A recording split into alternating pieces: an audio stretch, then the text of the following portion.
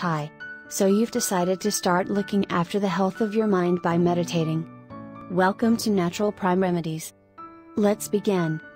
Guided meditation to make you whole. Guided meditation is a form of stress relief that is conducive to relaxing the whole body, in part by finding a way of peaceful and calming relaxation from within the body.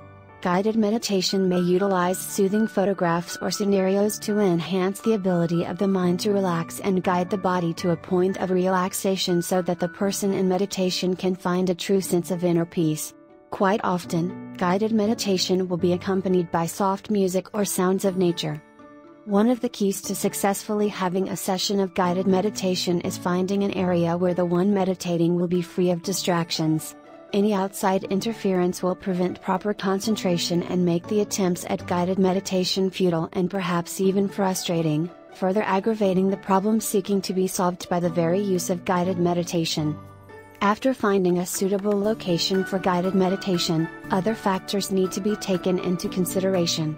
Some practitioners of guided meditation feel that visual stimuli can be used to help achieve a sense of inner peace and help to achieve true relaxation. Still other practitioners of guided meditation feel that any outside visual simulation will detract from the mind's ability to properly focus on the body and the results of the guided meditation will be hindered or even reversed.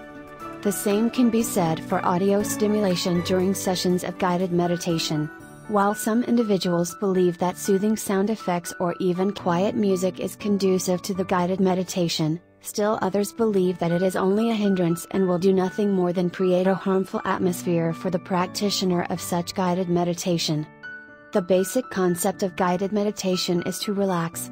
This is done by taking oneself on a guided tour of sorts through their own body. In the practice of guided meditation, it is normal to find a focus point in the body and begin there, someplace that is easy to relax. While staying focused on the body and in particular the muscles, the practitioner of guided meditation attempts to relax the muscles of the body. Allowing the body to completely relax allows the practitioner of guided meditation to next completely relax the mind. When the mind and body are completely relaxed, the person can begin to concentrate on focusing his thoughts and ideas during the guided meditation. When using guided meditation, thoughts are usually thought to be transcendent and more in focus, allowing the practitioner to perform better in all aspects of life.